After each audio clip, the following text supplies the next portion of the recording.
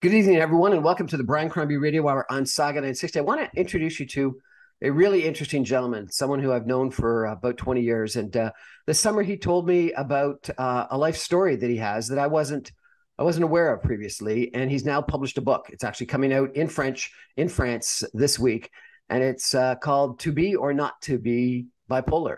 Uh, bipolar. Uh, uh, my guest is Pierre Jean, better known, commonly known as PJ. Esmio right. Follet, uh, and he is a. Uh, how did I do? Terrible. Not even close, but that's okay. Not even. Let's close. go with PJ. And I actually took lots of French lessons. Unbelievable. Uh, but uh, PJ uh, is a very successful investment banker, um, CFO in uh, Paris, France. Um, but he wanted to make sure that people were aware of of his life story and and and and and how it's his impacted him. And I guess he wants to make make it something that people can can live with. Um, PJ, welcome to the show. Thank you, Brian. I'm so happy to be around with you guys. So tell me a little bit about your your life story. When did you find out that you were bipolar? Yeah, I uh, I did my my university. It's a business school in France. The name is HEC. Arguably, it's the uh, first uh, business school uh, in the world and uh, there was there was a, a rule at that time. I'm talking about 35 years ago when I graduated, where you had to uh, to go uh, and and be trained and uh, and go to to to the army for for about a year. At that time, it was it was compulsory. You had to do it once you were um, finishing your school. And I decided to make money, so I decided to take something which was possible, which was to work for a subsidiary of a French group in South Africa. So I started my first job in South Africa as an investment banker. And uh, after a year, I got my first kid in South Africa in Johannesburg. And uh, my kid, my parents came over, uh, in particular my dad. Um, and I was awful. Uh, I treated them like, oh gosh, uh, like the worst dad on earth, uh, because well, it cheated on my on my my mother. And but but I was so harsh on him. And and really, I was a bad guy. So they stayed about two weeks with us, um, and then they came back to France. And and I figured out once uh, we left at the airport with my dad, and I said goodbye. I, I did a big hug because I, I, was thinking something was going wrong with my mind because I was so bad. And it, frankly, he did not deserve that. He was he was a great dad. So I said to him, "Hey, there's something wrong. We need to talk about it. I'm going back to France in two months uh, for for the kid to to see the family." which I did with my wife. And when we came over, um, I said to him, Hey, you got to talk to me about something because I know there's something wrong in the family, It's something that nobody wants to talk about. But I know there's something, I don't know what, but please tell me. Happened that my, my father is a doctor. So, uh, well, he took the, the right words to explain to me that obviously I inherited of the uh, gene uh, of the family, which is uh, bipolar, uh, which is um, a pathology, as you know. So what happened is that uh, I discovered that when I was 22 years old. Um, so I went to a psychiatrist, took my pill. Um, I don't know if you know, uh, Brian, but the pill that you take when you're bipolar is lithium, like you know the metal that you put in the battery. So right. that's that's what you. Uh, well, what I took uh, one gram a day, um, and, and and it worked very well. Um, I had a fantastic career. Uh, then I went to the UK. I went to um, to New York. I was hired by Goldman Sachs. Uh, the package was three million pounds. Uh, and, and I was 21, 29 years old. So everything was doing great. I took my pills and, and everything was fine. My, my, my family life also was great. Um, and then uh, went back to France. Um, I, I, met you at that time. I was the CFO of a, of a, large biotech company in France. Everything was fine. There was a lot of stress, but I could I could cope with it because I took my medicine. And 15 years later, that was in 2017, so that's about five years ago. Uh, my psychiatrist told me, "Hey, PJ, this is this is amazing. You you you're treating yourself very well. Um, you, nobody can see that you're bipolar because you're taking your pills and you you pay attention to to um, your mood and how to how to manage it. So everything was fine. And she said to me, "Hey, PJ, now we're gonna address your uh, hyperactivity." Um, as you know, uh, and it's very common in the US, kids take uh, Ritalin. You know that Ritalin when they're young, when they show a TDAH, I think it's TDHA. Um, so my doctor gave me okay. uh, Ritalin to address my hyperactivity. What happened? At, at, the, at the moment I took this pill, I'm talking 30 minutes after the first uh, uh, the first uh, consumption of, of the Ritalin, I went nuts. Uh, to make the story short, um, I, I came back to where I was when I was 23 years old. You remember in South Africa, I was just yep. a bad guy.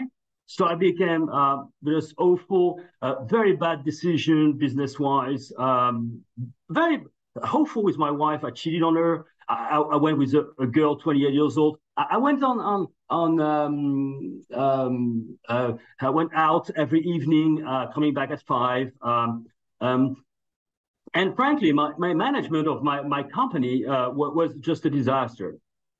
So um, um, it took me uh, about 18 months to recover because uh, needless to say that uh, I stopped the Ritalin, but, but I took it for three weeks.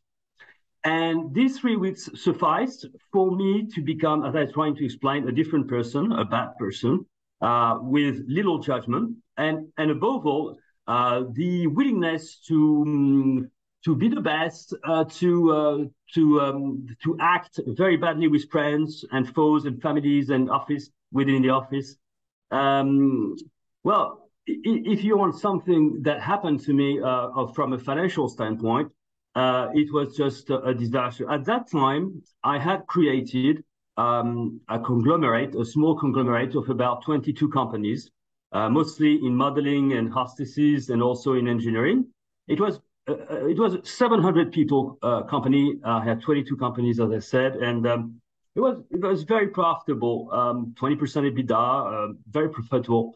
Uh, it was worth at that time when I took the Ritalin in 2017. There was an independent valuation of my group. It was worth about 20 million euros, and I own about 100% of it. So it was a success what I had created over five years. But um, 18 months after, uh, I filed for Chapter 11. Uh, I lost the entire group. Uh, I had to liquidate the companies, the 22 companies. I had to fire 700 people. And I had to start from scratch, which I did uh, about uh, 18 months ago. So um, uh, it's easy to demonstrate with independent expertise, expertise, medical expertise, uh, that it's pretty weird to have a very successful uh, entrepreneur uh, putting together a new group from scratch in five years and acting strangely uh, from the get-go on, on, on, a very date, which was uh, the 10th of June 2017, the first day I took this Ritalin. And it just killed me. Uh, two things that you will not believe, because I'm sure you think that France is a republic and a well-managed country. Still, uh, the Ritalin that was given to me had no marketing authorization. I repeat, for, for adults, in 2017, you can check, it was pro prohibited to give Ritalin to an adult in France. so that's amazing what happened to me.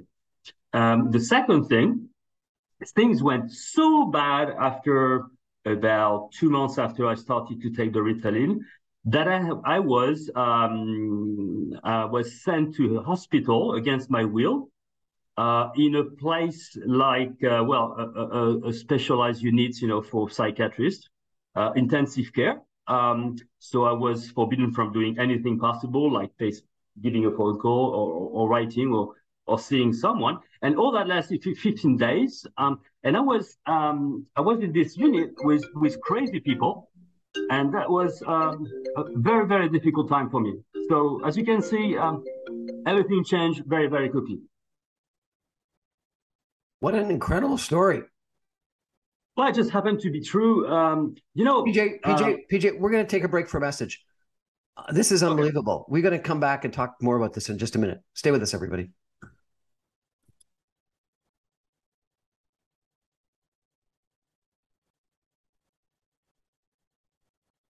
Welcome back, everyone, to the Brian Crombie Radio Hour. We're having quite an interesting, um, really a fascinating conversation with uh, uh, PJ from France, uh, who's telling us his story of, uh, of finding out that he was bipolar, um, dealing with it with lithium for what sounds like 20, 30 years, and then um, taking, uh, being prescribed Ritalin. Um, and uh, and having really quite a, a bad experience and losing his company and and and and I think you were going to launch into tell us a little bit more. But PJ, let's just take a step back for a second, if if we could. So so Ritalin did what? It it counter effect counter um, uh, impacted the uh, the effect of uh, the, the the lithium, or it, it accentuated even more, or what what do you think the the Ritalin actually did? Well, it's, you know, of course, I, have made a lot of studies on that. I I teamed up with different psychiatrics, uh, psychiatrist guy in France, uh, in the US, but you you should never ever uh, prescribe Ritalin to a uh, bipolar taking his medicine, taking lithium if you go into the literature, uh, you will find that the, the effects of the two molecules are antagonists. So what you're trying to achieve with lithium is to make your mood more stable. But what you're trying to achieve with Ritalin is to get excited because as you probably know, it's not far off from cocaine. Okay. I haven't never. Ritalin is not far off from cocaine. Yeah, it's not far. It's an. It, it's coming from morphine, or it's a derivative of that. It's, it's, it's something that excites yourself uh, very much. And, and by the way, what's, what's fascinating with this molecule, um, and that's, the, that's why 10% of kids in the US take Ritalin because their parents are too lazy to address the fact that they're a bit excited. And, and it, it, it gives the counter effect of, um, of what it would do to an, a quote unquote normal kid because um, if you if your if your kid is very excited and, and is hyperactive, uh, if you give him Ritalin, it gives the opposite effect of the excitement of the cocaine. Now, if you are uh, a bipolar, it gives you the direct effect, which is the excitement. So you you it, it doesn't make any sense. Uh, the doctor gives you um, uh, a lithium to stabilize your humor. In other words, instead of being like this in your day-to-day life, with lithium, you're like this, which is fine. That's what we're looking for. Now, if you add to this uh, a treatment of Ritalin, which is very strong on the brain, even if I took I took a, a medium dosage, I took 20 milligram, which is which which is not nothing. But if you put Ritalin on top of it, you do, and and it and it it fluctuates your mood. Um, you fluctuates uh, two or three times more than it would without anything. So this was a very bad call from my psychiatrist. Um, but um, you you may you may wonder why I never tell I never told you that I was bipolar. You, you never did. You we know why, we knew each other for years. Even worse, as I said, um, I went to the uh, court, um, the, the, the, business court uh, of France, of Paris. Uh, but but when you file for 22 22 chapter 11 files, if you wish. Basically, you, you, you're going to spend two years and a half and you go to the court about once a week. So I saw the, the judges so many times. I never, ever mentioned the fact that I was quote unquote crazy. I never, ever, even though I had this backup with uh, this, uh, this medicine that I should not have taken. The reason why I did not, because we're in France. If I had been uh, in New York, where uh, I experienced some friends who are, were bipolar, I would have said it from the get-go. I did not say so in France because we have um, we we all think that psychiatrist uh, disease um, are in a way worse than a cancer.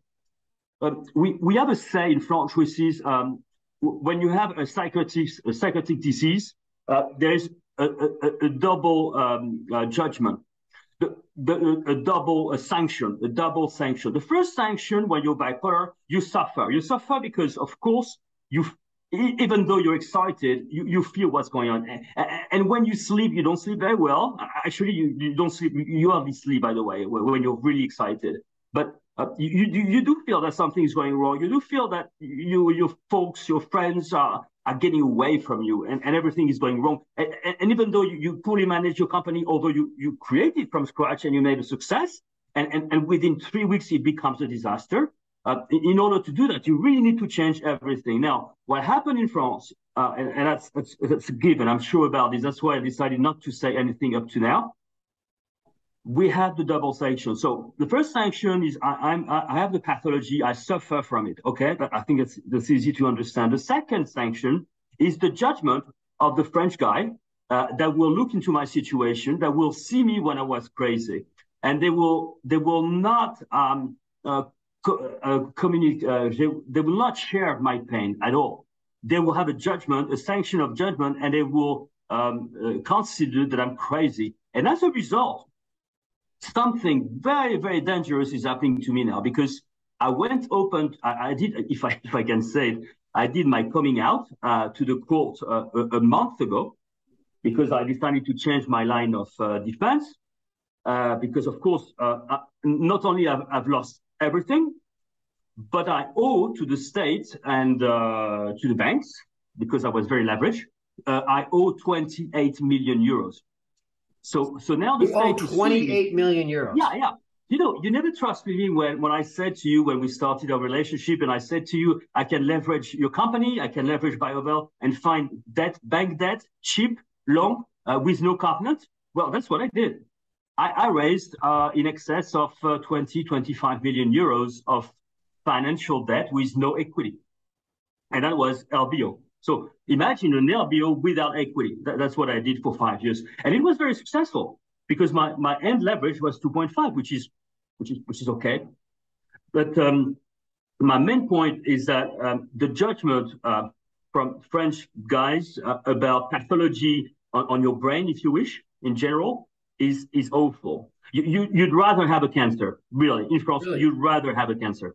So you know, living with and and and mental health issues have become really, you know, something that uh, have been been talked about uh, in the last couple of years in Canada and the United States and, and accepted. And, and there's been a, a fair amount of uh, a discussion about uh, about uh, being okay with it. And you're saying that is not uh, at all um, what what what exists in France.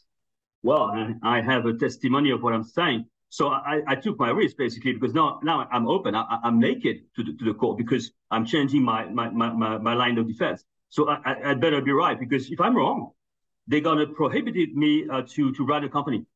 So th- that's very risky what I did, but I decided to do so, and I might I might have been wrong because when I when I did my my coming out to the court months ago, uh, the, the president of the court once he he, he heard about the testimony, the, the expertise from a psychiatrist, independent psychiatrist, etc. Uh, his, his, his preliminary conclusion was, hey, we understand you're probably not responsible for what happened, which is good. But uh, we're going to put you. Uh, would, would it be uh, would it be acceptable to put you on tutelle? I don't know what's the translation of tutelle. Tutelle is where basically you can't decide anything. Uh, the court will nominate somebody that will make all your decision, even your day-to-day decision. In other words, you don't have a business card, um, you don't have a credit card, you don't have a bank account, and you can't sign anything. So, um, of course, uh, I said no. Uh, but you see, the, the response immediately is, well, PJ, there was something wrong with you. As a result, there could be something wrong in the future, and we need to protect the others from your potential uh, recidive, your potential second um, problem going forward. It's amazing. I'm, I'm going to fight so much on that. I'm so pleased to coming out on your. It's the first time I speak to it uh, about it uh, uh outside of court. But uh, of course, I, I, I, I, thought a lot about this uh, attitude, and, and, I'm sure I'm right. But it's going to be tough. It's going to be real tough, and, and I better be right. Unbelievable story. Uh, PJ, why did you uh, write this book and publish this book? I published this book because, um, to me, um, you can't understand what happened if you if you if you don't understand where I come from. Where I come from. For instance, uh, one, one side of the explanation, something very important, I guess, is to explain that I've always been an entrepreneur. I've always been very successful as an entrepreneur or as an investment banker. And then it doesn't make any sense for me to turn into a bad entrepreneur within one day. So something wrong happened. Just, just to make you laugh. I, I, I, we never talked about it, Brian, but it makes me laugh so much. When I was five years old, uh, we were in on the Mediterranean coast uh, at my parents' home, um, uh, about about uh, about 600 miles south of Paris. And I was so bored of being on the beach with the others, so I created my first business. I, went to the uh, Pinewood and I collected cones in the morning, and then I went. There was there was a street where everybody was walking, was, and so I, I, went with a hammer and, and the cones. I took a lot of cones, and you know I, I opened them and I extracted the small pine, which is very valuable. It's very expensive. And I made uh, little bags of 100 grams and I sold it um, when I was five. The business went out very well. Uh, I was making about 20 francs, which will be $20 as we speak now, uh, back to, well, that's 50, well, four, 49 years ago. But it worked so much that all my friends on the beach stopped playing with stands or whatever or swimming and, and went and helped me. So I had my own business. We were 10 doing so. The problem is that my mother came to me and said, PJ, we, we're giving you food. Uh, we're paying your school of tennis. Uh, how come you need money? I said, well, I don't know. I love it. And uh, that's what we did. Uh, and then I, I, created another business uh, because sometimes it was raining. So it was difficult because there was nobody to, to sell our pine to. So so I collected uh, snails uh, uh, around close to the beach, and, and and again I was selling that to restaurants by. So I think it's useful to read the book because you got all these stories that I found well quite funny, um, and let the, the the reader understand where I come from. And and and you're you're trying to tell your story, but are you trying to to do something in regards to people's acceptance of uh, bipolar disease or mental health or something as well?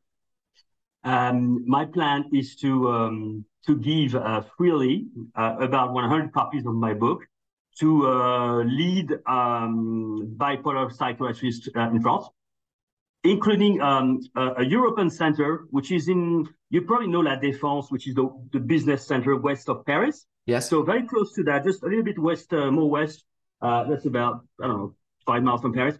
There is the the, the European Center for Bipolar, which is based in, in Courbevoie, close to this part of uh, outside of Paris. And uh, I, I, took a commitment when when I lost everything in 2017 uh, for that not to happen again. So on top of being followed by a psychiatrist on a monthly basis, I also go every six months, every year, it depends, um, and I do a full check, which is about half a day. And they check everything out to, to see what I'm crazy. So I want also to uh, give them free copy, talk to the psychiatrists uh, all around in France, about 100 of them, um, and for them then to um, to to, uh, to, to make my story known uh, to other guys because there's a way out, but it's the situation is so bad in France when you have something wrong with your brain.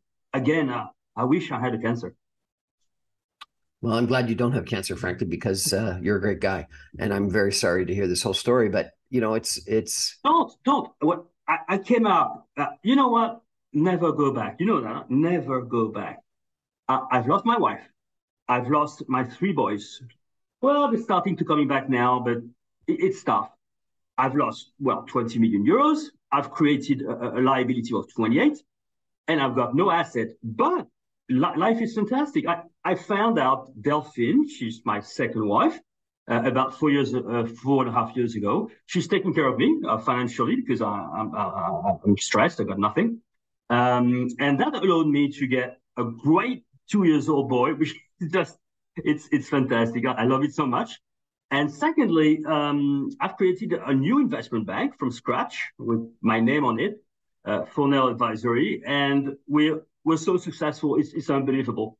That's why also I'm fighting with the court because I've created something which is worth a lot of money and a lot of um, well, I'm having a lot of fun with it. It's, it's amazing what we're doing, um, and I don't want to I don't want to lose that. I don't want to lose in, that. In, in America, what you described, the court was uh, was threatening was uh, I think it's called a conservatorship, um, where someone uh, has the rights, uh, you know, all the financial rights and, and a lot of other rights. Uh, uh, Britney Spears was actually under a conservatorship. Um, is that a real possibility? No, doesn't make any sense because I'm I'm I'm now I think I, I I'm about to collect the third expertise on what happened the first two, uh, the first one is from a leading psychiatrist in. He's the youngest um, head of service um, uh, at, at, at, the most famous hospital for all brain problems in France, in, in Paris. It's, it's the hospital of Sainte Anne for the one that knows it. Uh, so this guy is prominent. Uh, his expertise is, is very conclusive. Uh, he takes he takes a lot of risks. Because, uh, he, he's very very clear in his conclusion. He's, he's saying three things rapidly. Number one, PJ has never ever been crazy until uh, uh, 2017 when he took the Ritalin. Number two, uh, PJ was completely crazy for 18 months after he took the Ritalin. Number three, uh, ever since, PJ has run his business very professionally, very, very lucratively, um, and he has an attitude with uh, with others in general, business, private, which which is fine. I did another thing to to improve uh, the, the, the situ- well, situation, I don't know, but to, to, to make it simpler to everyone, I collected 58 independent um, testimony which I put together in a book of 300 pages, which I just gave yesterday to the court. So I'm putting so much information, it's got to work. PJ uh, Fournel is uh, is telling us about his um, his story, his life story with uh, living with uh, bipolar disease. How uh, when he took uh, some some Ritalin in combination with the lithium that he was prescribed since he was twenty something years old, he ended up going on a on a, a real I don't know what you call it a bender, a crazy interlude for eighteen months, and he lost everything, and now he's trying to get everything back. Uh, and he's uh, recently published a book about uh, his uh, life with bipolar. We're going to take a break uh, for some messages and come back in just two minutes with PJ Fournel. Stay with us.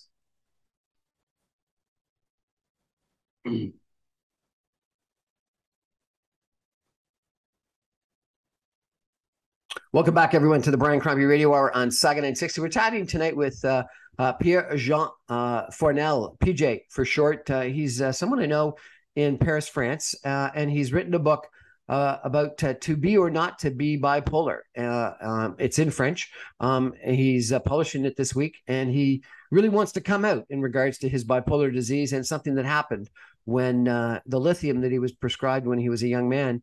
Um, he ended up being counteracted by a prescription um, I guess just a couple years ago uh, for uh, for Ritalin that he took, and he's suggesting that Ritalin not only counteracted the lithium, lithium but actually accentuated his uh, his bipolar disease.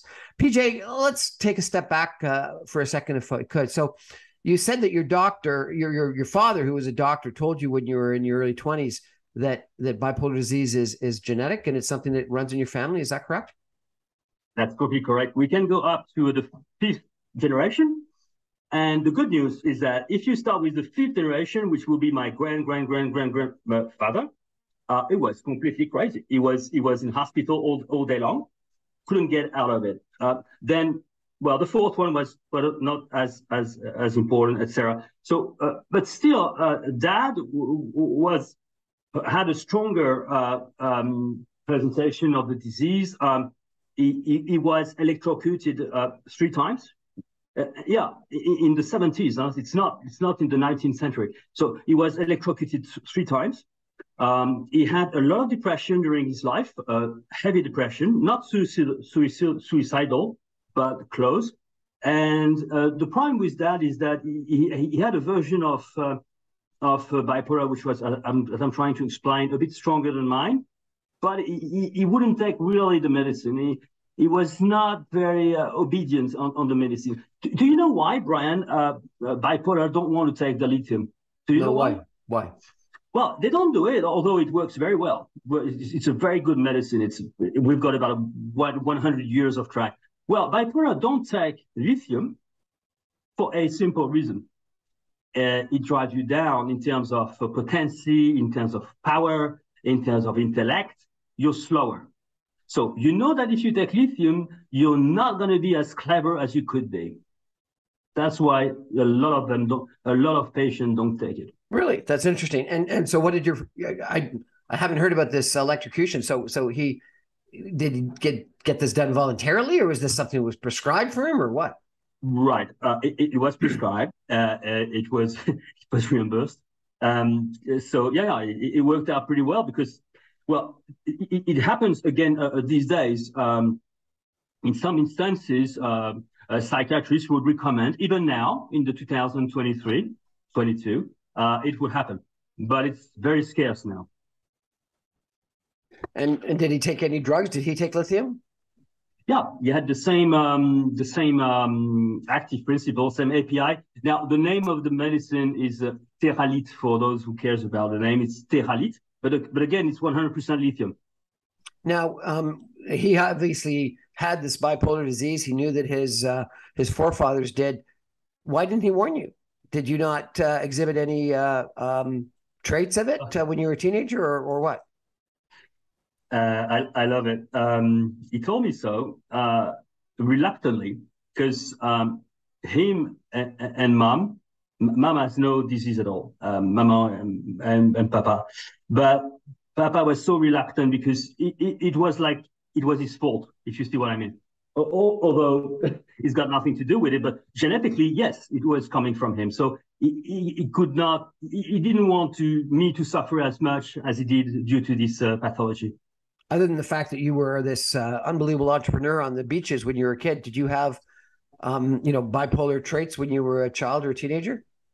No, it's something usually that comes out. Well, it's mostly for men, uh, by the way. It's about a ratio of nine to one when you do a nine nine will be for for men and one for for for for women and it, it happens most of the time just after teenagers. So, so it will be when you when you're between 17 and 25 years old, roughly. That's when the uh, the the pathology will come out. Really, I didn't know that. And, and then, then it reduces, and then it reduces when you started your 60, 65 years old. Um, and tell me, you know, when you went through this 18 months, what did you do? uh, uh, okay. I need people to listen to me and, and be very um, and we show a lot of empathy. here. For, for instance, um, I, I decided um, well, at the same time, Brian, um, I was successful, but I had initiated the process a uh, long time before. But I, closed just after the Ritalin, so a week, uh, uh sorry, three weeks after, I closed um, uh, an increase in equity. I raised about 5.2 million. So basically, when, when I started to be crazy, uh, I had uh, tons of money in cash in the group, and I, I, decided to acquire to acquire a company with it was a digital company. You, it's just appalling. Um, we're talking one million in sales. We're talking zero EBITDA, um, uh, poorly managed, no portfolio, no no clients. Well, I, I wrote a check of one million forty thousand euros in one shot uh, and of course it was worth zero. So that's the kind of thing I could. So you also, made bad decisions. Decided, is what you're saying? Right? You made bad decisions. Well, uh, yeah, another one. I decided to acquire a, a, a building in Paris. Um, the guy, the, the vendor, uh, was putting a lot of pressure on me and said, "Hey, PJ, I'm not sure you got the money, so uh, give me um, a two hundred thousand up front, and that will secure the transaction. I will lead you two months." I did. I gave him 200. Of course, I never raised the rest, so I lost 200, etc., etc., etc. But it was very difficult to to run a company because uh, do you have two minutes for something huge? Yes. Okay. I told you I was interned uh, without my will, without my consent, by um, uh, a special unit of psychiatrist, like you know the the, the movie with uh, Nicholson, uh, Jack Nicholson, uh, um, fly over a cuckoo nest. You know, one one so, fly over the cuckoo, something like that.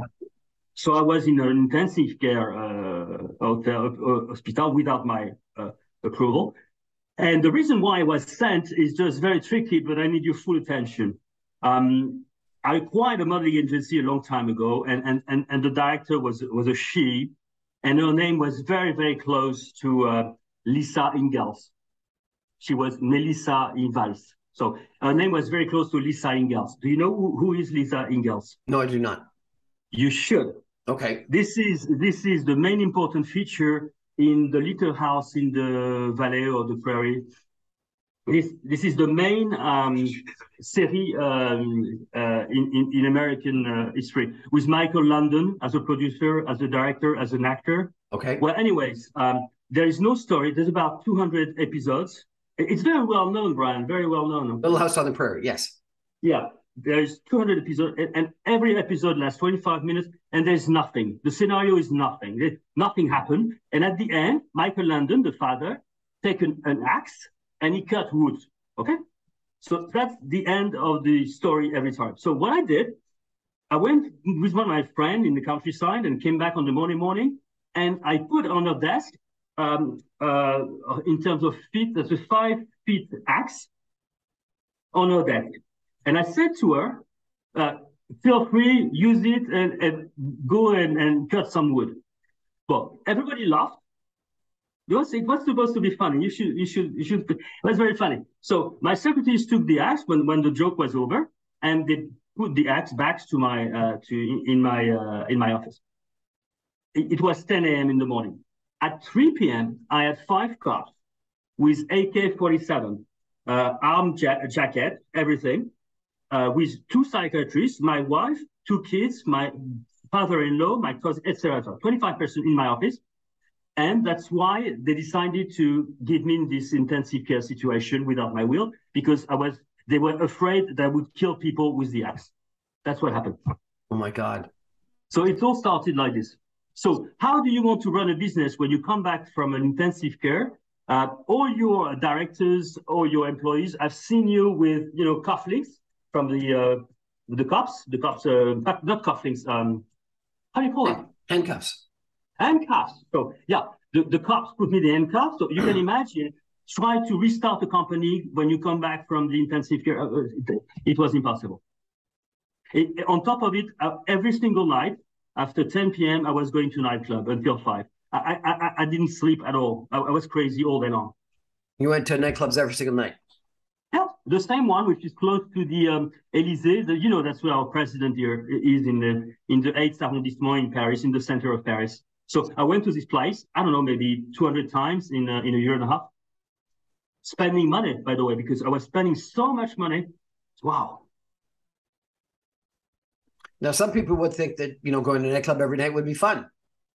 well, the problem is that I don't know how to dance, and I didn't make any progress at all. So even though I, I, I, was trying everything, I was trying Tinder, I was trying to dance in nightclubs, that wouldn't work. I couldn't get uh, girls to to follow me, uh, probably because I looked crazy.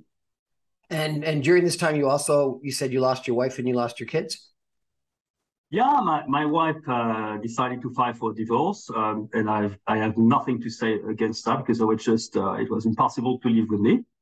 Um, and uh, yeah, my, my three kids have been told that um, because nobody understands in the family what happened because it, they all think that hey, as PJ was making, um, as I said, 3.5 million pounds uh, in, in, 98, uh, $1 million just before in the US. Uh, Ethypharm, I was making some money close to a million.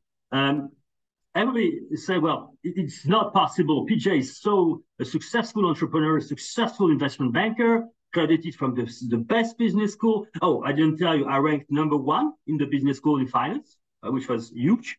So they, they all think that I have hidden accounts in the Cayman, um, in Switzerland, uh, whatever. So every time I go to, well, when I don't go to court for um, for for the for my group uh, at the Court of Commerce, I, I go to uh, the court for divorce, and, and it was every six months. I, am just I'm nearly finished with this, but it, it was uh, painful.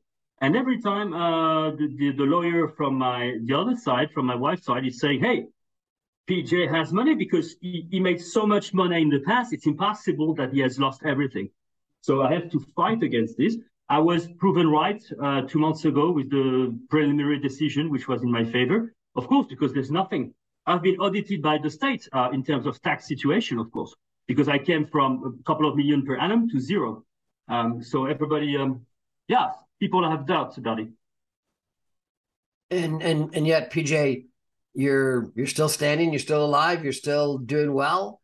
Um, I, I love, I love so much a, my life. You've got a I new life. kid. I love my kid. I, I, I won't give you uh, pictures. Well, I will uh, of, uh, of this uh, interview, but uh, he's very he's very cute. Uh, and, and again, starting from zero 18 months ago, I have, I'll tell you what, I have 17 mandates signed. The average fee on my mandate is half a mil. So, you know, um, I'm doing very well. Well, that's great to hear. Um, what a what an incredible story. Um, tell me a little bit about uh. About what? Sorry the your new wife. Tell me a little bit about her. Ah, Delphine, you, you got a problem with French in general, huh? I, I need to help you out on that, huh? Yes, you Delphine. Do. Delphine is uh, Delphine. Very pretty. Very pretty. Um, uh, she's a bit younger than I am. She's 11 years uh, younger. Uh, she, we, we, you know, when, when I recovered, uh, so as I said, about the end of 98, uh, 2018, sorry, um, I, I went on Tinder. I went on Tinder. I used Tinder, and I put my face, my funny face, and and and it was written uh, managing director of uh, modeling agency. So of course that was a, a, good approach to get girls interested. And I, I, I, for uh, for about yeah for two weeks in a row, every single evening I had a rendezvous with a charming girl, younger than mine, uh, uh, most of the time entrepreneur. Um, so that went out pretty well, but I couldn't. We, I couldn't move forward. So we had this dinner, and it was every time, and or a drink, and I couldn't do anything else. I, I was not interested. And then the 15th rendezvous was with Delphine, and about two weeks thereafter, we lived together. And we decided to have a kid about two months after. I did something. Two weeks weird. after you started living together, and two no, months no, later, you had a kid. No, no. you decided to have a child.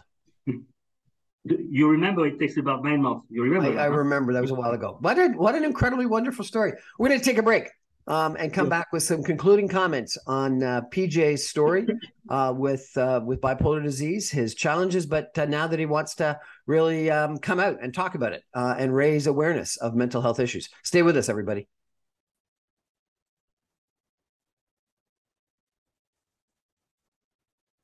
Welcome back, everyone, to the Brian Crombie Radio Hour on Sauga 960. I want to um, thank uh, PJ uh, Fournel for uh, sharing with us his story and his book that he's just uh, published about uh, living with bipolar disease and uh, and talking really about mental health and and some challenges, huge challenges, massive challenges that um, you've had, PJ, and that you know some people have. Um, tell me, you know, clearly what you want to do is come out yourself, but but you're obviously also wanting to change attitudes toward uh, mental health. Um, if if someone in their 20s, some guy in their 20s came to you and said that they had bipolar disease, what advice would you give them? Take your F U, I would say the rest, pill. Take your pill because the downside, um, the, the the immediate effect, as I try to explain, if you don't take your pill, you get excited, and and everybody loves to be excited. Everybody loves that. Uh, I'm going to talk to you like you're shit. I'm going to be better than you. I'm going to be more cl- clever than you, or whatever. I'm, go- I'm going to be very excited on sex. If you don't take your pill, your sex is very active. Your sexology, your uh, your attitude vis-a-vis sex, you, you, you want more. So of course, can you imagine a male in the 40s, in the 50s, to reduce his sex life because he takes a pill? It takes a challenge. That's why, as I say, most of bipolar don't take their pills. Sex, money, power, all that is limited when you take your pill.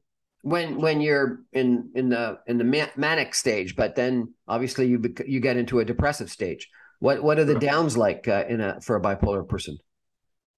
Well it depends on um well first uh, uh, it's about the environment uh, i'd say because you, you, your your brain may uh, may move ups and downs in terms of depression and excitement but that's one thing. That's the chemical part there's another thing, which is the environment. So, for instance, I don't know, you're on a big transaction, a lot of money involved. Well, you're going to get excited by by outside of your brain, and it will multiplicate your ex, your excitement within your brain. So it's a conjunction of your your chemical situation, which is something you cannot manage. That's why you need your, your pills. And the second is the the outside. So of course, there's also uh, once you're bipolar, you got to pay attention. And, and when the environment gets tricky for you, a lot of pressure, whatever, you, you, you should just step back. And maybe, for instance, don't go to a, to work one day or, or, or sleep not, not too late, this kind of thing. So all this kind of thing, a psychiatrist specialized in this uh, pathology will explain very well. But, but the key elements about the, uh, the medicine, what you do in general is two medicine are, are simplified. there's one which is the, the lithium, which is the main component of your therapy. But the second one is a, a, a thymoregulator. Uh, there's about three of them on the market. They work very well, and it gives you the ability not only to be like this, but maybe like this, which really? is great. So calm yeah. down and be more uh, level. Um, and and so if uh, you wanted to, if you had an opportunity to speak to people generally about how they should uh, think about mental health issues, particularly bipolar disease, but other mental health issues as well, what what's the message you want to del- deliver to people? The principal message, uh, Brian, is that we talked about a disease, but we, we made a, a, huge mistake. It is not a disease by, by far. It is a pathology. And once, if it's not revealed, it's, it's not a disease. Um, I could make a, a, comparison with HIV and AIDS. You can have HIV, but it leads to nothing in your, in your body until and if it transfers into AIDS. So it's exactly the same. So if you have just a pathology, after all, you, you, you may never know that you have it because it has no impact on you. It's only when the pathology reveals and transforms into a disease. So it's very difficult to, to assess, and you need a very good psychiatrist, which is not that often. PJ, it's great to check in with you. Um, and I'm glad, excuse me, I'm glad things are going well for you today with your new wife and your your child. And I hope things go well with you in court. And uh, I look forward to uh, seeing you in business again. Will be a delight. That's our show for tonight. Thank you everyone for joining us. Um, I do think that um, having people like PJ that are willing to tell us a little bit more about their uh, their life story uh, with uh, with mental health uh, issues, um, how it's challenged them, um, and how they've been able to get through it, uh, and how they need to take the drugs, uh, and they need the support from family and friends, etc., business associates as well. I think is really helpful. Um, and so, thank you very much, PJ, for sharing, and thank you everyone else for uh, for listening to PJ's story. And good luck with the book. That's our show for tonight. Thanks for joining us. Uh, you can Hear me every night on 960 AM at 6 p.m. And you can stream me online, even from Paris, France, which I guess would be midnight your time, uh, at www.sauga960am.ca. Good night, everybody.